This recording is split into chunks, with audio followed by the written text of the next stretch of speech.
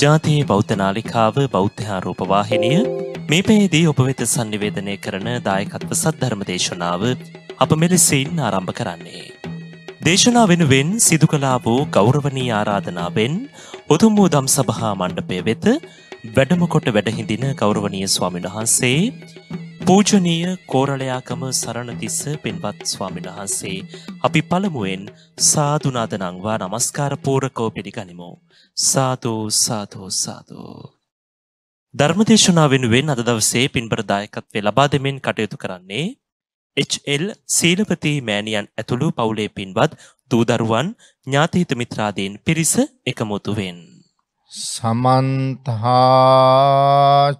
චක්කවාලේසු අත්‍රාගච්චන්තු දේවතා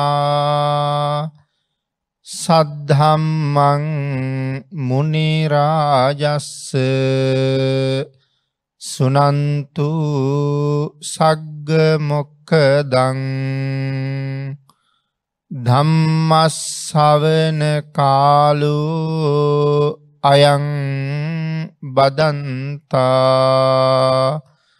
ධම්මස්සවන කාලු අයං බදන්තා.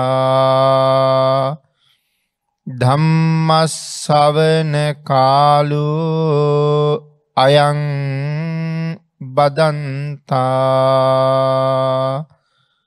නමෝතස්ස භගවතු අරහතු සබ්බ දම්මිසු අපපටිහතඥානචාරස්ස දස බලධරස්ස චතුවේ සාරජ්‍ය විසාරදස්ස සබ්බ සත්තුත්තමස්ස ධම්මිස්සරස්ස ධම්මරාජස්ස ධම්මස්සාමිස්ස තතාගතස්ස සබ්බඥුනෝ සම්මා සම්බුද්දස්ස නමෝතස්ස භගවතු අරහතු සබ්බ දම්මිසු අපපටිහතඥානචාරස්ස දස බලධරස්ස චතුවේ සාරජ්‍ය විසාරදස්ස සබ්බ සත්තුත් උත්තමස්ස ධම්මිස්ස රස්ස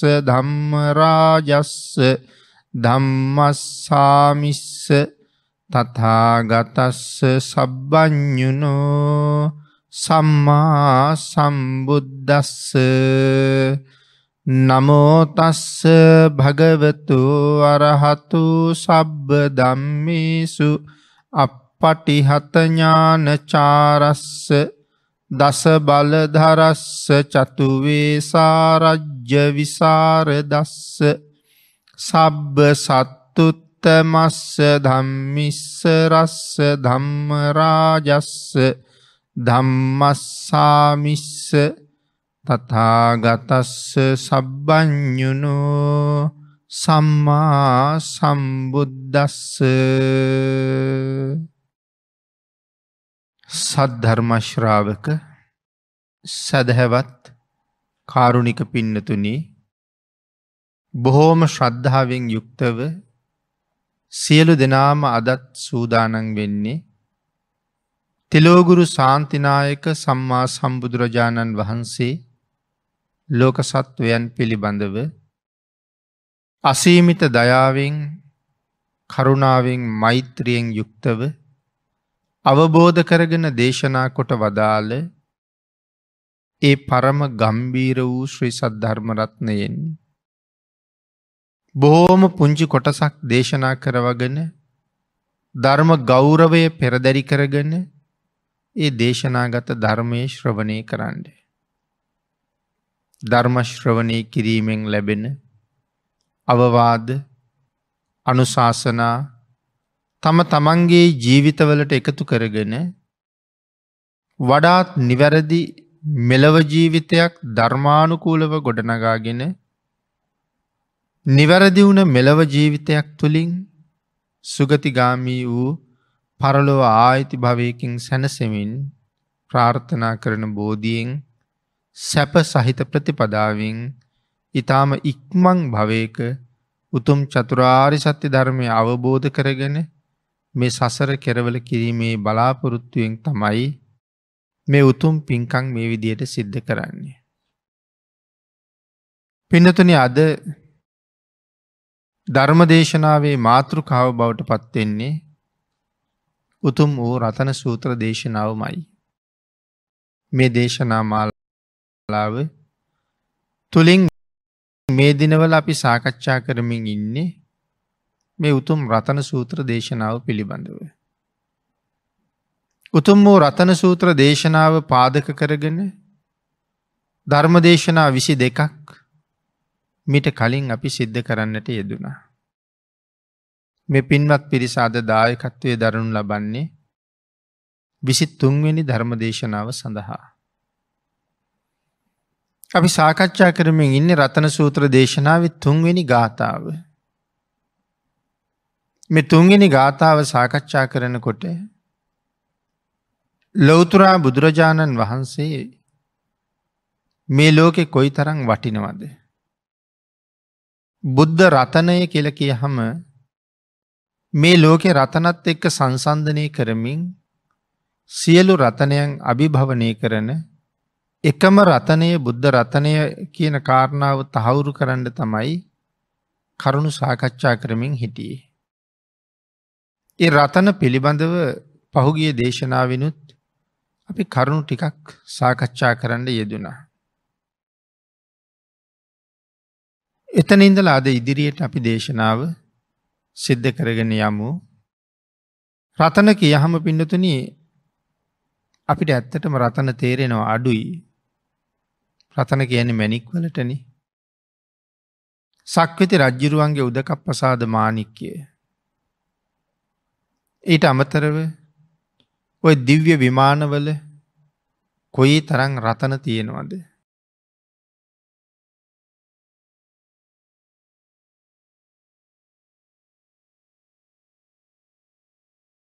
මැනික් තියෙනවද ජෝතිය සිටිතුමා බිම්බිසාර රජ්ජිරුවන්ටත් එක මැනිකක් දුන්න බිම්බිසාර මාලිගාව ආලෝකමත් කරගණ්ඩ පුළුවන් මැනිකක්. ජෝතිය සිටතුමාගේ මාලිගාවෙනං කවදාවත් පහන් දල්වන්නෙම නෑ. ඒ මාලිගාව දවල් රෑ දෙකේ මාලෝකමත් කරන්න මැනික්කොලින්මයි. ඉතින් එහෙම එලිය විහිදෙන මැනික් අපි දැකල නෑන්නේ. පුුණ්‍යවන්තයන්ගේ කාලෙට මංහිතන්නේ එහෙම මැනික් ඕන තරන් තියෙනවා. මැනික් මැනික් කියලා කිවට අපි දකින මැනික් කොල එහෙම එලිය නෑ. එක හැබැවින්ම මැනිකක්ද කියලා තීරණය කරන්නේ අපි වෙනම ආලෝකයක් ලබල දීල තමයි අපි මැනික පරීක්ෂා කරන්නේ. එහෙම නෙමේ ඒ මැනික් මේ විදුලි බොබුලු දැල්ලුවා වගේ පුදුම එලිය. උදකප් පසාද මානික්කය නං ඊටත් වඩා එලියයි කියල සඳහන් කරනවා අපි ඉස්සරහටනගේ කාරණාව සාකච්ඡා කෙරෙනවා අහසට ඔසෝහම මධ්‍යම රාත්‍රී එක සඳහන් කරන්නෙත් පින්නතිරි චතුරංග සමන්නාගත අඳුර තියෙන වෙලාවක කියලා. ඒ වෙලාවක අහසට ඔසෝහම හරියට හිරු පෑව්ව වගේ එලියයි කියල කියන්නේ. මහපොළොවේ ගමන් කරන කූම්බියා පවා පේනවා කියල සඳහන් කරනවා. එ තරම්ම එලියයි. කර්මාන්ත වැඩ කරන මිනිස්සු හදිස්සියේ අවදි වෙලා තමන්ගේ කර්මාන්ත පටන්ගන්නව කියල කියනවා අද දවල් වෙනකං නින්ද ගියා දන්නෙම නෑ කියලා. ඒ තරන් එලියයි කියල කියනවා.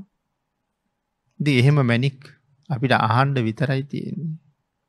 නමුත් මේ සියල්ල දක්වලා රතන ගැන කියලා කියලා මේ සඳහන් කරන්නේ ඒ සියලුම රතනයන්ට වඩා බුද්ධ රතනය උතුම් කියලා. නනෝ සමං අත්ති තතහාගතයන. ඉදම්පි බුද්ධේ රතනං පනීතන් ඒ තේන සච්චයන සුවත්ති හෝතු. ඒකයි මේ සඳහන් කරන්නේ ඒ එකම රතනයක් වත් භාග්‍යතුන් වහන්සේට නං සමාන නෑ. බුද්ධ රතනය ඒ සියලුම රතනයන්ට වඩා උසස් කියල තමයි මෙ නනෝ සමං අත්ති තතහා ගතයන කියල කියන්නේ. මෙතන නෝ කියල කියන්නේ නැහැ මයි කියලා න නෝ නැහැ මයි බුද්ධරතනයට වඩා උසස් රතනයක් නැහැ මයි කියන කාරණාව තහවුරු කරනවා. නැහැ කියනවට වඩා නැහැ මයි කියල කියහම එක වඩා තහවුරු කරලා තියෙනවා. එන මේ නා නෝ කියන අර්ථයෙන් ඒ නැහැ මයි කියන වචනය තම පැහැදිලි කරන්නේ. ඉතින් අපි සාමාන්‍යයෙන් රතන සූත්‍රයේ කියාගෙන යනකොට මේ තරන් ලොකු අර්ථයක් අපි හිතන් නෑනේ. ඉත අතිශයිම්ම ගැඹුරු අර්ථයක් තමයි මේ වචනයක් වචනයක් ගානි තියෙන්නේ. මේ සාකච්ඡා කරන්නේ තුන්ගනි ගාථාරතනයේ තුන්ගනි පදේ. නමුත් එතකොට මේ විසි හතරවෙනි දේශනාව. එතරම් ඉතාම ගැඹුරු අර්ථයක් මේ වචනයක් වචනයක් ගානය අන්තර්ගත කරලා තියෙනවා. ඉති යම් කෙනෙක් රතන සූත්‍රයේ ශ්‍රවණය කරනකොට සජ්්‍යහායනා කරනකොට යම් ප්‍රමාණයක්වත් මේ අර්ථ මෙනෙහි කර කර සජ්්‍යහායනා කරන්න පුළුවන් වුණොත් ඒකෙන් ලැබෙන ආනිසංසය ආරක්ෂාව මෙච්චරයි මෙපමණයි කියල ප්‍රමාණ කරන්න බැරි තරන්න. ඉතින් අපි අර අර්ථය මෙනෙහි නොකර සජ්්‍යහායනා කරන්න නිසා තමයි තැන් අතීතයේ මෙන්න මෙච්චර ආනිසංස ලැබුණ රතන සූත්‍ර දේශනාවෙන් මේ තරං ආරක්ෂාව ලැබුව කියන කාරණ එකක්වත් අද අපිට ජීවිත කාලයක් සජ්්‍යහයනා කිරුවත් ලැබෙනවා අඩුයින්නේ එකට හේතුව තමයි මේ අර්ථය ධර්මය දන්න නැතුවයි අපි නිකම්ම කියවනවා විතරයි. එහිද අර්ථයත් එක්ක සජ්්‍යහයනා කරනකොට පුදුමාකාර ශ්‍රද්ධාවකුත් ඇති වෙනවා. බුදුරජාණන් වහස විශේෂෙන් ත්‍රවිධ රත්නය පිළිබඳව සුවිශේෂී අවබෝධයක් ලැබෙනවා. දැමි සූත්‍රයේ පුරාවටම රතන කියල කතා කරන තුනුරුවන් ගැනන. ඉති එහෙම දැනගෙන කරනකොට ලැබෙන ආනිසන්සේ හරි විශාලයි. ඊළඟට මෙතන සඳහන් කළා තතාගතයන් වහන්සේට සමාන රතනයක් නැහැමයි. ලෝවර වටිනාම රතන අතර භාගිතුන් වහන්සේ හරි සුවිශේෂයි. එනිසා සඳහන් කරනවා මේ අර්ථය මනාව බරපතල කරලා. අපට දැනෙන විදිහට පැහැදිලි කරන්නයි නැහැ මයි කියල මනාව තහවුරු කරලා තියෙන්නේ කියලා. ඊළඟට පින්නතන රතන ගැත ගැන කතා කරන තව ක්‍රම පහක් තියෙනවා. ඒ ක්‍රම මොනවද කියල පැහැදිලි කරනවා රතන සූත්‍ර අට්ට කතාවේ. චිත්තී කතන් මේ රතන ගැන කියන්නේ චිත්තී කතන් ගරු කරන ලද නිසා රතන කියල කියනවා. බොහෝ දෙනා ගරු කරන නිසා රතනයක් කියල කියනවා. මහක් ගංච මහා අනර්ග බව නිසා ඉතා උසස් බව නිසා රතන කියල කියනවා. අතුලං තුලනය කරන්න බෑ. කිසි කෙනෙකුට තුලනය කරන්න පුළුහංකමක් නෑ ඉක්මවන්ඩ පුළුහංකමක් නෑ අං ඒ නිසත් රතන කියල කියනවා. මීට වඩා වටිනවා වෙන්ඩ බෑ කාටුවත්. ඒ නිසත් රතන කියල කියනවා. දුල්ලබ දස්සනන් දකිින්ඩ බොහෝම දුර්ලබයි. අංගේ දැකීමට දුර්ලබ නිසත් මේවට රතන කියල කියනවා. අනෝම සත්ත පරිභෝගං අනික් විශේෂම කාරණාව තමයි මේ ලෝකෙ ඉපදිච්ච විශේෂයෙන් පින් තියෙන අයට විතරක් පරිභෝග කරන්න ලැබෙන වස්තුවක් නිසත් රතන කියල කියනවා.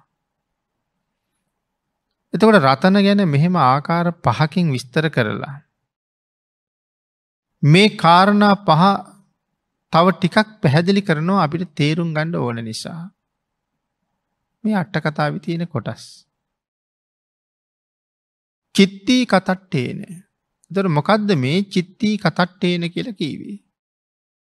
සඳහන් කරනවා සක්විති රජුගේ චක්්‍රරතනය මනිරතනය වගේ දේවල් ගැන විශේෂයෙන් සඳහන් කරලා තියෙනවා කියලා.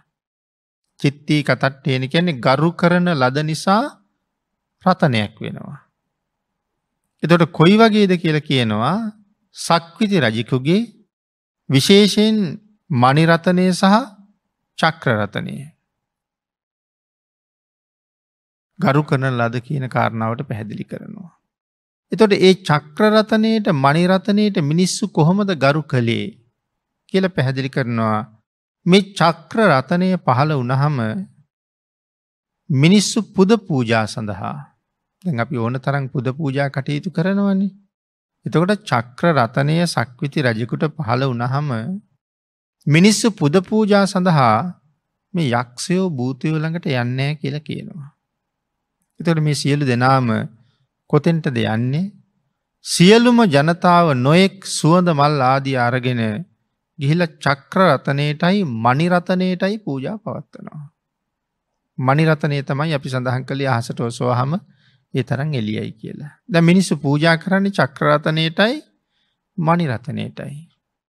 අං ඒ නිසා මෙතන සඳහන් කළා ගරු කරන ලද නිසා රතන භාවයට පත්වෙනවා. මනිරතනයටත් මිනිස්සු ගරු කරනවා වඳිනවා චක්‍රරතනයටත් මිනිස්සු ගරු කරනවා වඳිනවා. ඊළඟට සඳහන් කරනවා මේ චක්‍රරතනය සහ මනිරතනය ළඟ පූජා කරලා ප්‍රාර්ථනා කරහම ඒ තැන්වල දීම ඒ ප්‍රාර්ථනාවන් පල දෙනවා කියලා. යම් පූජාවක් කරලා යම් ප්‍රාර්ථනාවක් කරහම ඒ ප්‍රාර්ථනාව එතනම පල දෙනවා. ඒ තරං උසස් මේ රතනයේ. මිනිස්සු ප්‍රාර්ථනා එලෙසින්ම මිනිස්සුන්ගේ ප්‍රාර්ථනා ප්‍රාර්ථනා කරන විදිහටම සමුරුදමත් වෙනවා. එනිසා සඳහන් කරනවා මේ චක්‍ර රතනයට සහ මනිරතනයට වඩා. තවත් උසස් රතනයක් මේ ලෝකෙ තියෙනවන. චක්‍ර රතනයට මනිරතනයට වඩා සිය දහස් වර නෙමෙයි ලක්ෂ කෝටි වර නෙමෙයි කෝටි ප්‍රකෝටි වරකින් ඉහලයි බුද්ධරතනය කියලා. ඉතාම උසස් කිසිම රතනයකට සමකරන්න බැරි නිසාම ගරු කරන සියලු රතනයන්ට වඩා බුද්ධ රතනය මේ ලෝකේ හරිම උත්තරී තරයි. අගේ නිසා සඳහන් කළා ඒ කාරණාව පැහැදිලි කරන්න උදාහරණ කීපයක්. තැන් චක්්‍රරතනයට මනිරතනයට පූජා පවත්වලා ප්‍රාර්ථනා කරහම එතනම විපාක දෙනවා කියල කිව්වා. එතොට බුද්ධරතනයට පූජා පවත්වලා ප්‍රාර්ථනා කර හමත් එලෙසම විපාක දෙනවද. එලෙසම විපාක දෙනවා කියන කාරණාව පැහැදිලි කරන්න උදාහරණ කීපයක් දක්වලා තියෙනවා. එක උදාහරණයක් බුද්ධවර්ම මුදලාලි භාගිතුන් වහස වැඩ ඉන්න කාලේ බුද්ධවර්ම කියල වෙලෙන් දෙක්කින්නවා. ඒ වෙළෙන්ද එක දවසක් බුදුරජාණන් වහන්සේට මේ එයා වෙළඳාම යන ගමන් මිදි යුෂ පානයක් හදල පූජ කරනවා. නවත් මේගොල්ලු කාන්තාරය අතර මං වෙනවා. ඒගොලන්ට කෑමට බීමට දෙයක් නැතුව යන විශේෂයෙන් ජලය ඉවර වෙනවා. තැක් සියලු දෙනාටම පිපාසයි. මොන තරං පිපාස වෙලාද නිකං උම්මත්ත කිව්වාගෙදෙන්. වතුර හොයාගෙන හොයාගෙන යනකොට එක කරත් එක අඩිය තියෙනවා කියනවා මේ මණ්ඩි වගේ බේරිච්ච වතුර ටිකක්. ඒකවත් බීල පිපාසේ නිමාගණ්ඩ කියලා මේ මුදලාලිටත් කියනවා. නමුත් එයා එතෙන්ට යනකොට ඒක වතුර පිරිලා. අරගෙන පානය කරලා බලහම මෙ තන්නි කරම තියෙන්නේ මිදි යුෂ.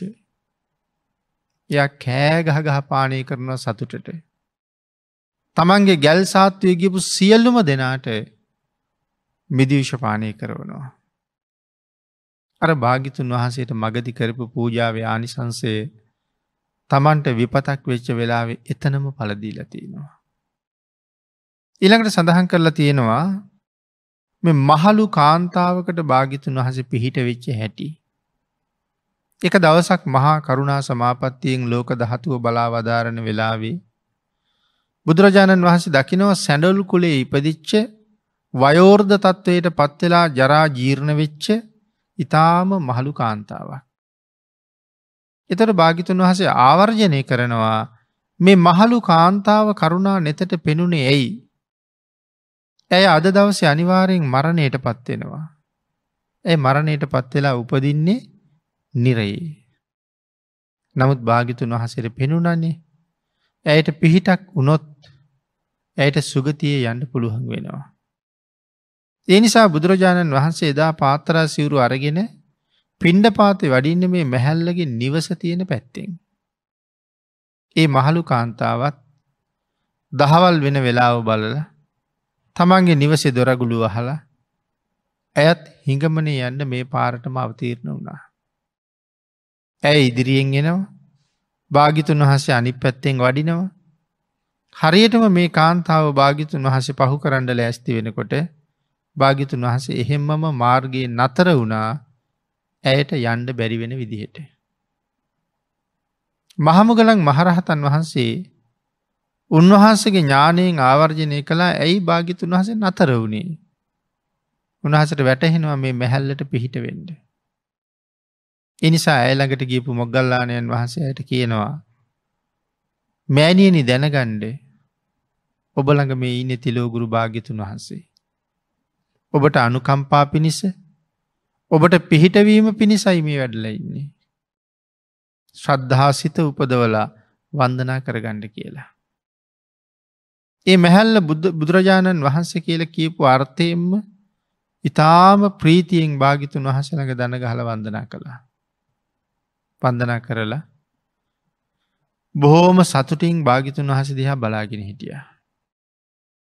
භාගිතුන් වහස එතනින් වැඩම කළා ටික වෙලාව කැනකොට මේ මාර්ගයේ ආපු එල දෙනක් ඇනලා ඇය මරල දැම්ම. නමුත් මරණයට පත්වෙනවත් එක්කම ඇ සුගතියේ ඉපදුනා භාගිතුන් වහසරි කරපු වන්දනාව නිසා. ඊළඟට සඳහන් කරනවා පීත විමාන වස්තුව. මංතැන හුඟක් දෙන අහල තියෙනවා. විමානවත්තු පාලී සඳහන් කරනවා පීත විමානයේ. පීත කියල කියන කහපාට. නමුත් මෙතන සඳහන් කරන්නේ රන්වන් පාට කියලා. මත කහපාටත් රන්වන්න පාටත් අතර තියෙන්නේ සුළු වෙනසක්. එක කාන්තාවක් හරි දුප්පත් කාන්තාවක්. බුදුරජාණන් වහන්සේ පිරිනිවම් පෑවට පස්සේ. බුදුරජාණන් වහන්සේගේ ධාතුන් වහන්සේල තැන්පත් කරලා අජාසත්ත රජ්ජුරුව හැදුව චෛත්‍යයක්. ආගේ චෛත්‍යය දිහාවට ඇය බොහෝම ශ්‍රද්ධාවෙන් ගමන් කරනවා. ඇගේ හිතේ ජීවමාන බුද්ධ සංඥාව ඇති වෙලයි තියෙන්නේ. ඇය දකින්නේ චෛත්‍යය. නමුත් ඇය අරමුණු කරන්නේ ලොවතුරා බුදුරජාණන් වහන්සේ. මේ වැඩයින්නේ භාගිතුන් වහන්සේය කියන හැඟීමයි ඇයළඟ තියෙන්නේ. ඒකට තමා බුද්ධ ජීවමාන බුද්ධ සංඥාව කියල කියන්නේ එදා ජීවමානව භාගිතුන් වහස වැඩහිටිය මොහොතේ මට භාගිතුන් වහස ළඟට යන්ඩ ලැබුණනම් මං කොහොමද යන්නේ. ඒ චේතනාවෙන් අදත් චෛත්‍යය ළඟට බෝධිය ළඟට ප්‍රතිමාව ළඟට ධාතුන් වහස ළඟට ගිහිල්ල වන්දනා කරනවනන් කෙනෙක්. ජීවමාන බුදුරජාණන් වහන්සේට වැඳපු පින අඩු නැතුව ලැබෙනවා. එනම් මේ කාන්තාව ඒ ජීවමාන සංඥාවෙන් තමයි යන්නේ. ඇයි නිකම්ම නෙමේ යන්නේ. ඇගේ අතේ තියෙන මල් හතරක්. ඇය යන්න මේ මල් හතර පූජ කරන්න. මාර්ගයේ තියෙන වෙන්න කිසිම දෙයක් ඇයට අරමුණු වෙන්නේ නෑ. කෙලින්ම භාගිතුන් වහසම අරමුණු කරලා තියන්නේ. අනේ එහෙම යනකොට මේ පාරයිනි හිටියා අලුතෙන් පැටව් බිහිකරපු එල දෙනක්. අනික් සියලු දෙනාම ඒල දෙනගෙන් අයින් වෙලා යනවා. මොද දරුවා බිහි කරලා නිසා එල දෙෙන හටිකක් දරුණුයි. නවත් ඇයට එහෙම අරමුණක් නෑන එක අරමුණ භාග්‍යතුන් වහස. එහෙම හිත හිතා යනකොට අර එල දෙන ළඟී යනකොට ඇන්න. ඇනල මහපාරම මරල දැම්ම. මරණයට පත්වෙනවත් එක්කම තවතිසාවි තමයි උපදින්නේ. සක්‍ර දේවේන්ද්‍රයන්ගේ පරිවාර දිව්‍යාංගනාව අපිට තේරෙන විදිහට කීවොත් සක් දෙවිඳුගේ භාරියාව. කොච්චර ප්‍රමාණයක් ඉන්නවාද කියල සඳහන් කරන කෝටි දෙක හමාරක් දිව්‍යාංගනාව ඉන්නවා කියලා. එතට මේ කෝටි දෙක හමාරක් දිව්‍යාංගනාවන් අතර තවත් එක දිව්‍යාංගනාවක් හැටියට ඇයත් උපදිනවා. භාගිතුන් වහන්සේ පිළිබඳව ඇතිකරගත්ත ශ්‍රද්ධාව නිසා ඇය මොන තරං රූපයෙන් බැබලුනාද කියනවනම් විස්තර කරලා තියෙන මේ දිව්‍යාංගනාවන් කෝටි දෙක හමාරම ඇය රූපයෙන් අභිභවනය කලා කියලා. එකන මේ කෝටි දෙක හමාරක් දිව්‍යාංගනාවන්ටම වඩා ඇය ලස්සනයි. ඉති ඇගේ පහළ වෙච්ච විමාන ඇයට පහළ වෙලා තින දිව්‍යමය උපකරන දිව්‍යමය රථ මෙ සියල්ලම රත්තරයි. කැන මේ ඔක්කොම කහපාටයි. ඒකයි පීත විමාන කියල කියන්නේ. සක් දෙවිඳු පුදුමයෙන් පුදුමයට පත්වෙලා මේ දිව්‍යාංගනාවගෙන් අහනවා මනුස්ස ලෝකෙ මීට මොහොතකට කලින් ඔබ කරපු පින්කම මොකක්ද මේ තරං ලස්සනට උපදින්න කියලා. ඇයි කියනවා ස්වාමීනී මල් ලොකු පින්කමක් නං කළේ නෑ. මේ මනුස්ස ලෝකෙ තියෙනවා හරි ප්‍රසිද්ධ වැලක්.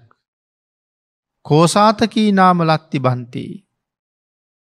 මෙවැල හරි ප්‍රසිද්ධයි කිත්තිතාන බිජ්ජිතා. එකන මේ වැල හරි කීර්තිමත් මෙවැල හරි ප්‍රසිද්ධයි. මොකදද වැලේ නම කෝසාතකී නාම ලත්ති බන්තිී. කෝසාතකී කියල නමක් තමයි තියෙන්නේ.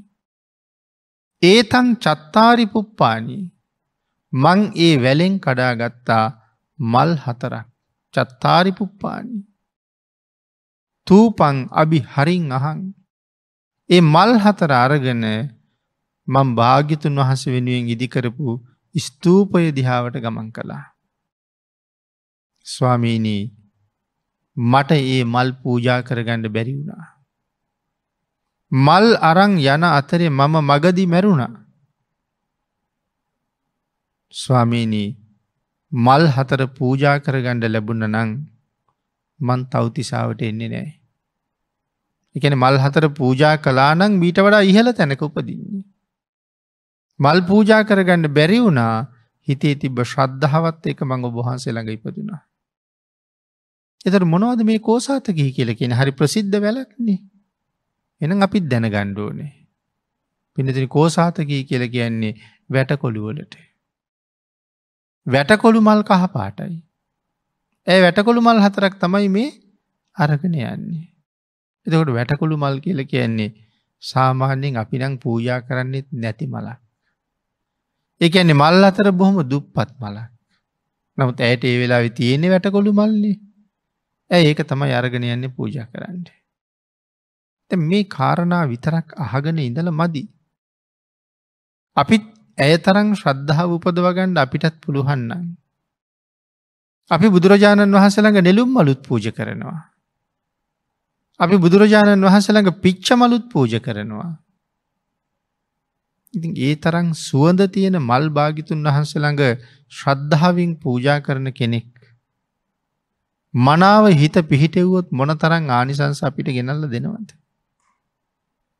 එතට මේ කියන්නේ මනිරතනයේ චක්‍රරතනයට පූජා කරහම එවලිම විපාක දෙනවනං භාගිතුන් වහසයට කරන පූජාව මොන තරං ඊට වඩා මහත් පල වෙනවද.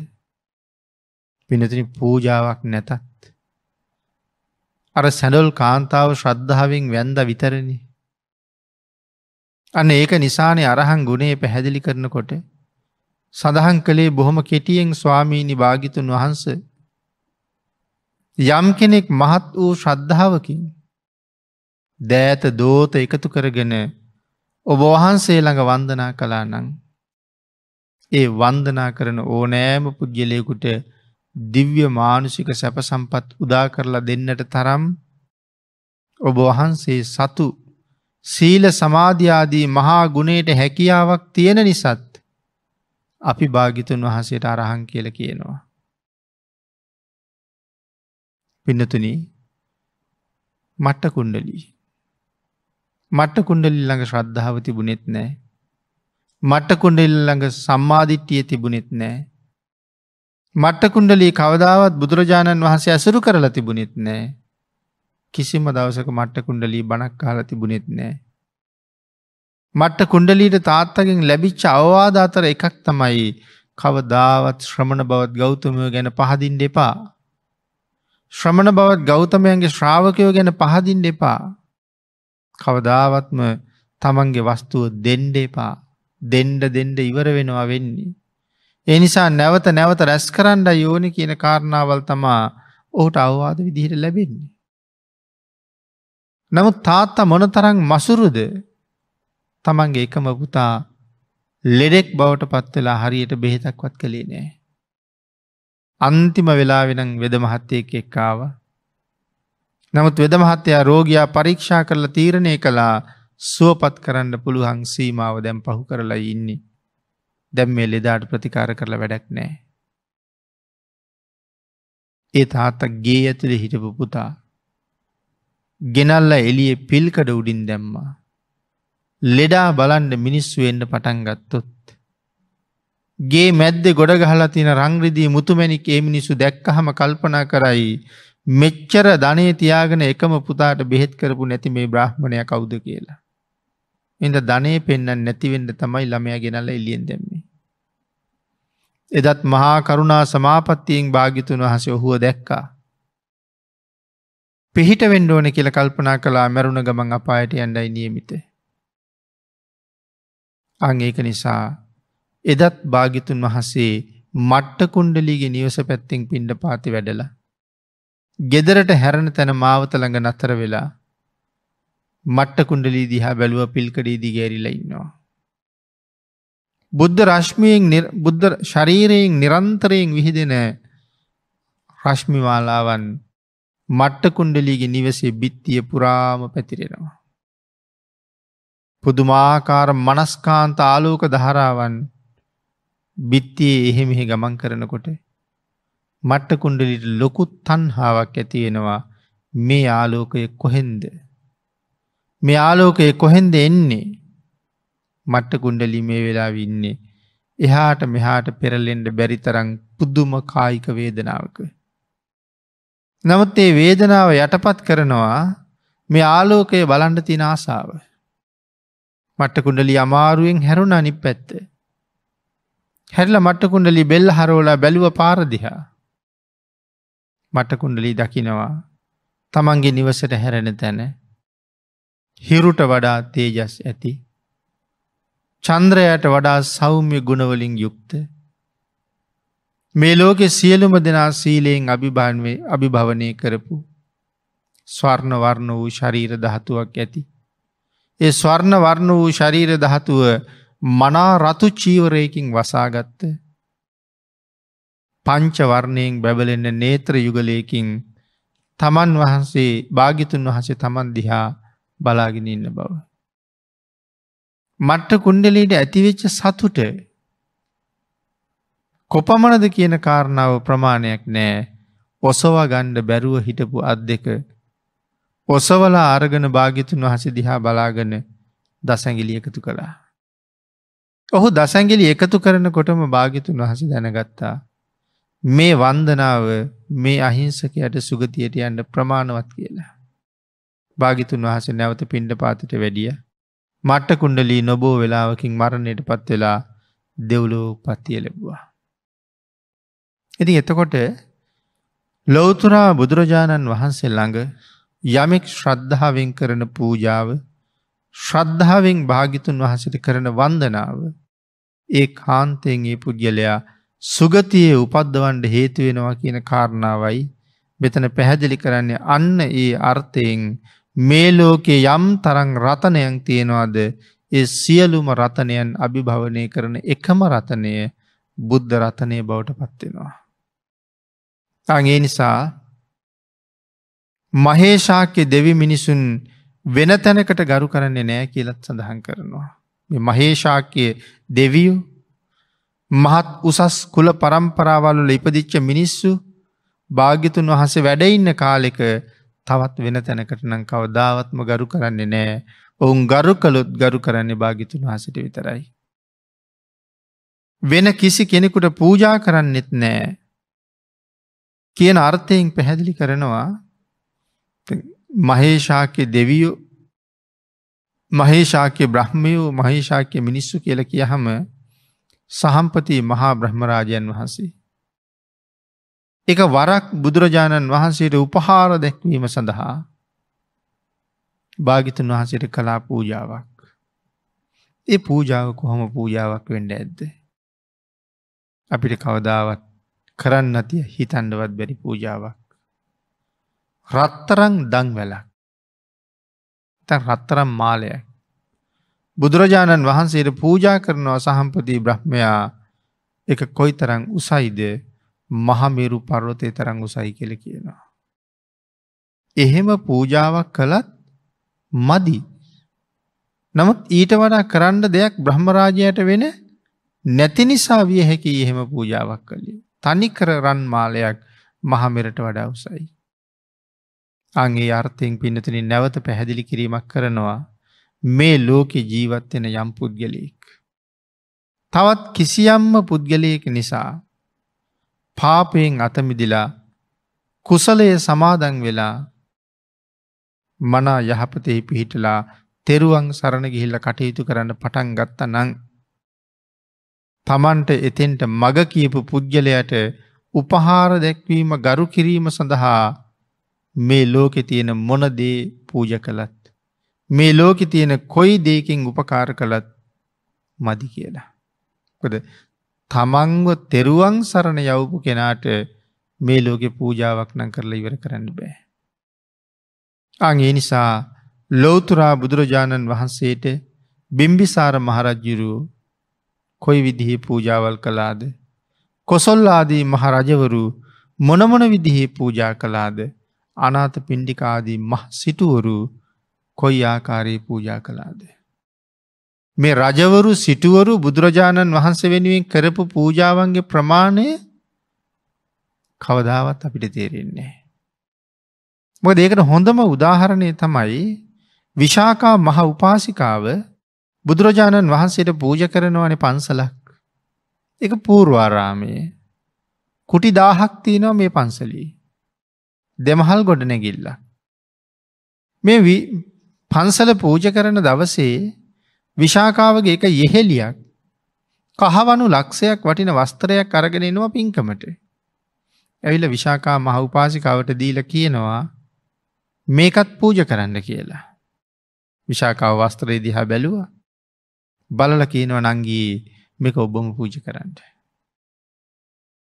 ඇය පන්සලේ පල්ල හැමාලි කුටි පන්සීයටම ගියා.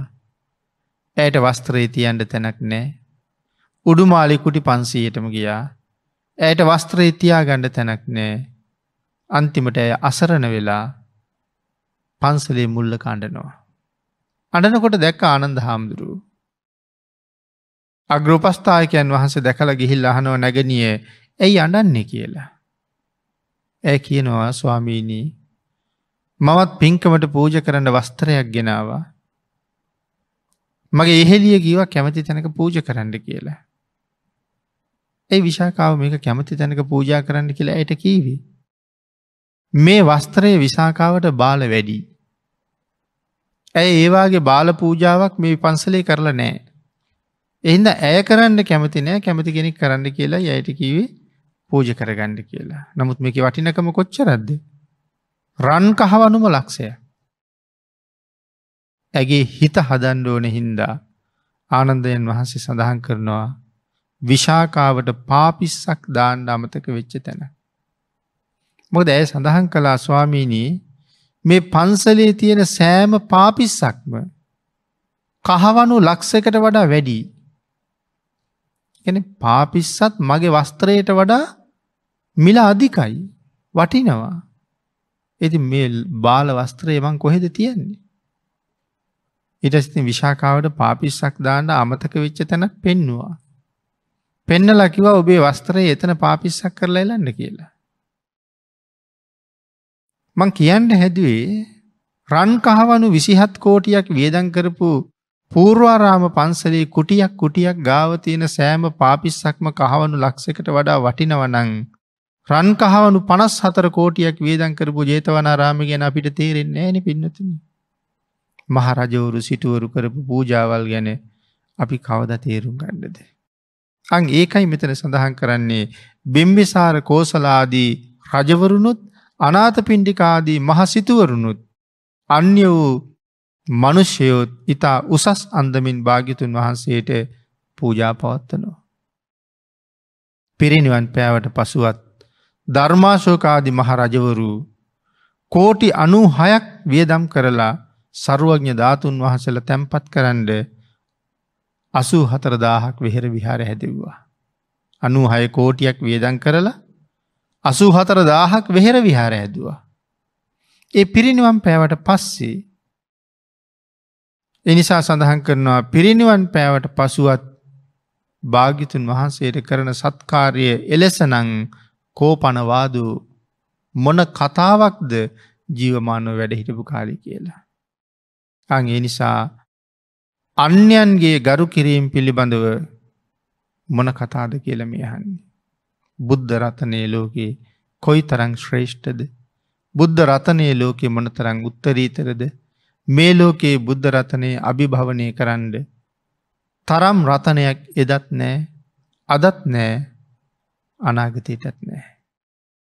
අන්නේ නිසා මෙතන අහනවා කාගෙද පිරිනිවන් පෑවට පස්සේ ඉපදුන තැන බුදුවන තැන දම්සක් දෙසුව තැන පිරිනිවන් පෑව ස්ථානය යන මේ තැන්වල සහ තවත් නොයෙක් තැන්වල ප්‍රතිමා හදල චෛත්‍ය හදල වන්දනාමාන කරන්න මේ ලෝකෙ වෙන කාගෙද කියලා. යම් තැනක ලොවතුරා බුදුරජාණන් වහන්සේ ශ්‍රේපාදෙන් ස්පර්ශ කරපු තැන වැලි ටිකක් අරගෙන ඇවිල්ලා යම් කෙනෙක් වන්දනා කරනවා නං ඒ වන්දනාව පවා ඔහුට සුගතිය උපදින්ට හේතුවෙනවා කෙලයි සඳහන් කළේ ඒ ඇනෙ භාගිතුන් වහන්සේගේ සිරිපතුලට පෑගුණ වැලිටිකෙත් තියෙනවා ලෝකයා සුගතිගාමී කරන්න පුළුවන් හැකියාව. බුද්ධ ශරීරයේ තව කෙනෙකුගේ නියපොත්තට අපි කැමති නෑ. තව කෙනෙකුගේ කෙස් ගස්වලට අපි කැමති නෑ. තව කෙනෙකුගෙන් ගැලවුණ දතකට අපි කැමති නෑ. කෙනෙකුගේ ඇටකෝටු කෑල්ලකට අපි කැමති නෑ පිළිකුල් නමුත් භාගිතුන් වහසේගේ නිය දහතුවට පසඟ පිහිටවල වඳිනවා. භාගිතුන් වහන්සේගේ කේස දහතුවට පසඟ පිහිටවල වඳිනවා. භාගිතුන් වහසගේ ලෝම දහතුවට භාගිතුන් වහසගේ දන්ත දහතුවට මිනිස්සු විතරක් නෙමේ දෙවියෝ බ්‍රහ්මියෝ පවා පසඟ පිහිටවල වන්දනා කරනවා. එනම් මේ ලෝකයේ ඒ තරං උසස් සැලකිල්ලක් මේ ලෝකෙ ඒ තරං උසස් සත්කාරයක් ලැබුයි භාගිතුන් වහන්සේ හැර වෙන කවුරුන්ද කියන කාරණාවයි මෙතන අහන්නේ. භාග්‍යතුන් වහන්සේට කවදාවත් සක්විති රජුන්ගේ චක්‍රරතනයටවත් මනිරතනයටවත් එහෙම ගරු කිරීමක් නං නෑ. මේ චක්‍ර රතනයටයි මනිරතනයටයි කවදාවත් භාගිතුන් වහන්සේට සමාන වෙන්න පුළුහංකමකුත් නෑ. අන්න ඒ නිසා ගරු කරන අර්ථයෙන් බුද්ධ රතනය තරම් වටින රතනයක් නෑ කියලා චිත්තී කතට්ටේන කියන කාරණාව විස්තර කරනවා. ධර්ම දේශනාවට තියෙන කාලයේ නිමා වෙලා නිසා. උතුම් වූ රතන සූත්‍ර දේශනාවේ විසිතුන්ගෙන ධර්ම දේශනාව මේ වෙලාවේ මේ විදිහට අපි නිමා කරමු. ඊළඟ කාරණාව මහක් ගංච කියන කාරණාවිඳලා ඉදිරි දේශනාවෙන් සාකච්ඡා කරන්න ඉඩ කඩතියාගන. පින්නතින අද මේ උතුම් දේශනාවේ දායකත්වය දරනවා HL සීලවතී මෑණියන් දරුවන් හා නෑදෑ හිතමිතුරන් විසින්. පුුණ්‍යානුමෝදනා කරනු ලබනවා මෙයට වසර දහ නමයකට පෙර පරලොව සැපත් ආයුර්වේද වෛද්‍ය කේ මාටිං ආදරණීය පියාණන් ඇතුළු පරලෝ සැපත් දෙමව්පියන් ඇතුළු අනෙකුත් සියලූම ඥාතීන්ට සහ සුජීවත්ව සිටින HL සීලවති මෑණියන්ගේ පරලෝ සැපත් දෙමව්පියන් සහෝදර සහෝදරියන් සහ ධර්මදේශනාව සඳහා සහ සම්බන්ධ වෙන සියලුම දෙනාගේ නමින් මියගිය අන්‍ය වූ සියලු ඥාතීන්ටත් මේ පින් අනුමෝදන් වීමෙන් පරලව සුගතිගාමී වී ඉක්මං භවයක ඉතා පහසුවෙන් නිර්වාණාවබෝධය ලබා ගැනීම සඳහා ඒ අයට මේ කුසල් හේතුවේවා වැඩමකොට වදාළ අති පූජනීය දේශකයාණන් වහන්සේ ඇතුළු සියලූම මහා සංගරත්නයට මේ පින් අනුමෝදං වේවා. නිදුක් නිරෝගී භාවයේ දීර්ඝායුෂ ප්‍රාර්ථනා කරනවා. නිවන්දක්නාතුරු ධර්ම මාර්ගයේ පහසුවෙන් ගමන් කිරීමට හැකිවීම සඳහාත් ඉතාම ඉක්මං භවයක සැප සහිත ප්‍රතිපදාවකින් උතුම් චතුරාරි සති ධර්මය අවබෝධ කර ගැනීම සඳහාත් පින් අනුමෝදන් කළ සියලු දෙනාටමත් ආශිර්වාද කළ සියලු දෙනාටමත් මේ සද්ධර්ම දානානි සංසය හේතු වාසනාවේවා කියල සීලවතී මෑනියන් නැතුළු දූදරු නෑදෑ හිතමිතුරන් විසින් ප්‍රාර්ථනා කරනු ලබනවා. ඒ උතුම් ප්‍රාර්ථනාවන් එලෙසින්ම මුදුම් පත්වේවා කියල අපි සියලු දෙනාම නැවත වතාවක් ආශිර්වාද කරල ප්‍රාර්ථනා කරමු. ආකා සට්හාච බුම්මට්හා දේවානාගා මහිද්දිකා පුඤ්ඥන්තන් අනුමෝදිත්වා චිරංරක්කංතුලෝක ශාසනං දේවෝ වස්සතු කාලේන සස්සිය සම්පත්ති හේතුච්ච පීතෝ භවතුලෝකෝච රාජා භවතු දම්මිකෝ